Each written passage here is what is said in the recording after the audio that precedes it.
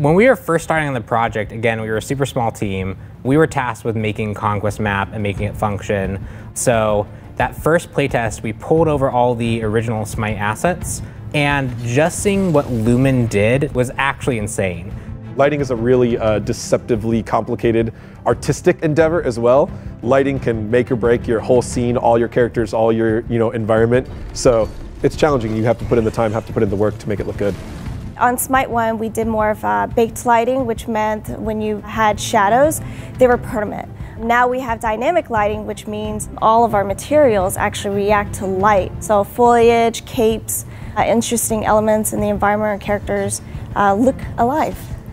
Trying to understand how of the, all the different Unreal assets talk to each other is a big barrier of entry instead of a god just having one ability and it's just one piece of code and it's relatively huge abilities are split into a whole bunch of individual components that all have their own functions through the gameplay ability system or GAS system. Learning that and figuring out how it all worked together, how it all came together, um, definitely overwhelming at first, but just got to get the reps in. We did a little prototype of Chaac ulting and actually having lightning tendrils come off of him and spark onto the environment. So with basically no artist even coming in, just stock UE5, we had an incredible looking map, but it wasn't until seeing the lighting effect in the order base where I was like, if that's something that happened from just a simple straight port, what's gonna happen when the artists actually get their hands on this?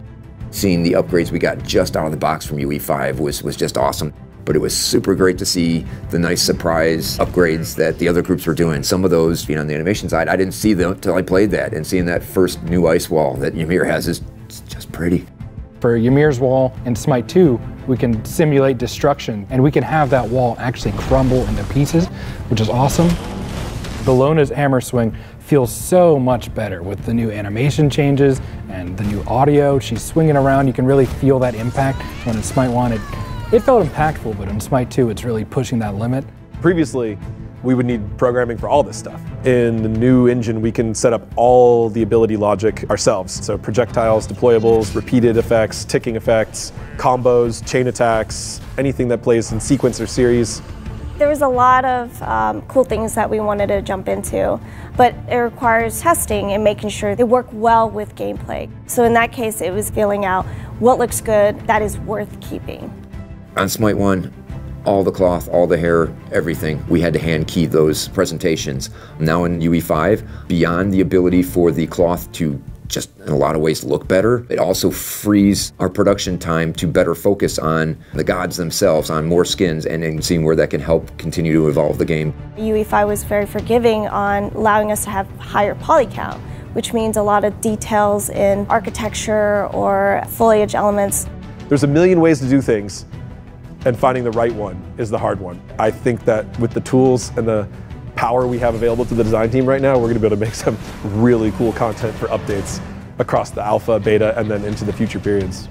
All of us can look back and say, boy, I would have loved to have built that foundation this way.